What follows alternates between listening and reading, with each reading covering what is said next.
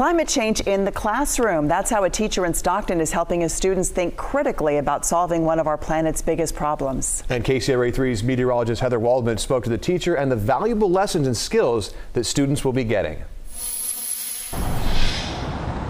this is our future. Like, this is stuff we have to deal with later on. A real life lesson that many young people are learning. Climate change is real. It is not a matter of opinion. And now, teachers like Scott Jorgensen at Pacific Law Academy in Stockton please be insanely curious are helping their students understand the science of climate change and the tools we have to fight it. Science teachers, as, as a group, I've been trying to teach climate change forever but to have it be an explicit part of the curriculum now is important. The lessons within that curriculum are provided by the Livermore Lab Foundation. The lab is a world leader in researching climate change mitigation and adaptation technology. Our goal with this set of lessons is to bring that information to in new and creative ways to different audiences. And what better way to do that than starting in the classroom? This is the first year that lessons are being used in several different California schools. Lessons are designed to give high school students a practical look at some of the problems involving climate change, things like ocean acidification and carbon emissions.